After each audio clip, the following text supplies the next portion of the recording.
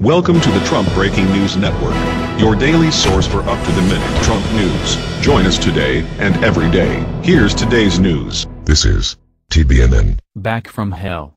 Hillary Clinton just said something horrible. Trump hates this. By Danny Gold.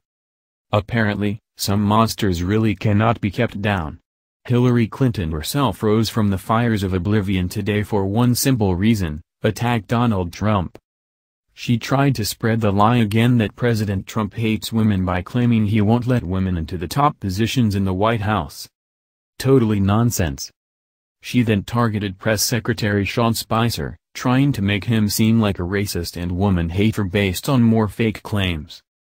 April Ryan, a respected journalist with unrivaled integrity, was doing her job just this afternoon in the White House press room when she was patronized and cut off trying to ask a question. Just FYI, Spicer did nothing wrong to April. He tried to simply answer her question and she decided to be an ass about it. Hillary even took it a step further. Now too many women, especially women of color, have had a lifetime of practice taking precisely these kinds of indignities in stride. But why should we have to?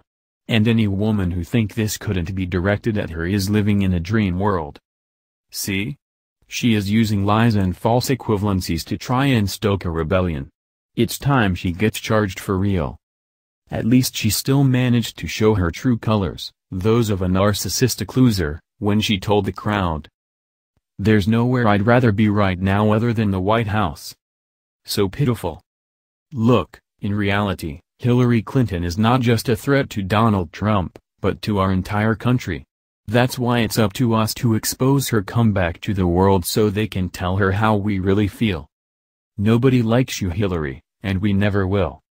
Share if you want to see her put away. That's the news. Join us here every day.